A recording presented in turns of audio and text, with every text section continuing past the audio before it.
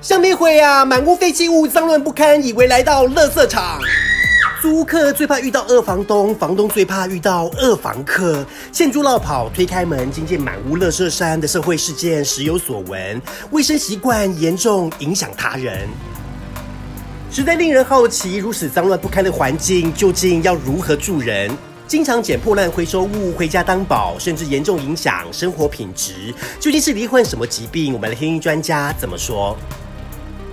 临床上面呢，其实有一种囤积症，它是一个很新型的精神疾病，它被归属在呢强迫疾患里面。那它的特征呢，毫无理由的呢，一直在囤积很多东西，并不是像人家集邮的习惯啊，或是收集什么玩具的，不是。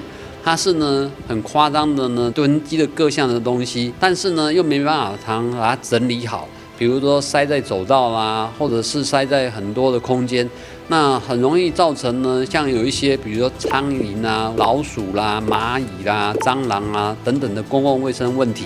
那甚至因为它过度的囤积呢，然后也造成家人活动空间的受限。那这一类已经目前被认定是一种精神疾病，要接受治疗的。那还有什么样的治疗？这种疾病呢，我们目前有从生理、心理环境去看哈。生理脑的角度来讲，会认为到他呢，在他的这一些脑的前额叶啦，还有间这个所谓的边缘情绪系统，还有里面呢有一些跟这种强迫行为有关的组织，它产生了功能上的失调，所以呢，他就会一直挥之不去的念头，我要收集起来，我要收起来，不能丢，不能丢。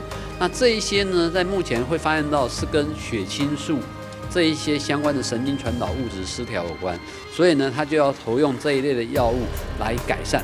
当然，有一些太严重的，说不定要用抗精神病的药物，哦，精神安定药物来治疗。那另外呢，心理治疗的部分呢，我们要采取叫做认知行为治疗，去了解说他过去他为什么会囤积。那如果了解来龙去脉，有一些人呢是小时候可能。很不恰当的分离焦虑，或是小时候呢穷的山穷水尽，很怕东西没有了。那这些原因让他让他理清，让他了解到，那我怎么慢慢修正改善到适度就好哦。那再来呢，因为囤积的人他常常也有一种呢所谓的呃舒压的方法，他囤积起来又有满足感，所以呢你要教他有没有其他的舒压方法，比如说慢跑啦、快走、骑脚踏车运动，或者是找人家说唱作息、作息规律。然后等等的方式呢，让这一些症状可以获得改善。我们临床上面目前再来看呢，大概不少见，有百分之二，这是最多的报告。第二个呢，它很难治愈。哦，强迫症本身就是一个病程慢性化、容易起起伏伏的疾病，所以呢，它可能主要目标是怎么让那个程度干扰的程度降到最低，然后呢，它也比较不会不安，而周遭的人可以接受的程度为治疗的目标。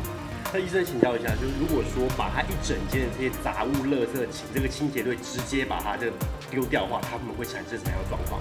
我以这种强暴犯化学去世的概念来讲，然后你这个就是一次好像要一一次清掉。如果你从他的脑袋、心理层面，你没有去做治疗处理，那他呢那种挥之不去的念头还是会在。你呢，把它清掉，它可能换个地方或换个方法再继续囤积，它会复发的。中时新闻网囤积症也能治疗改善。采访报道。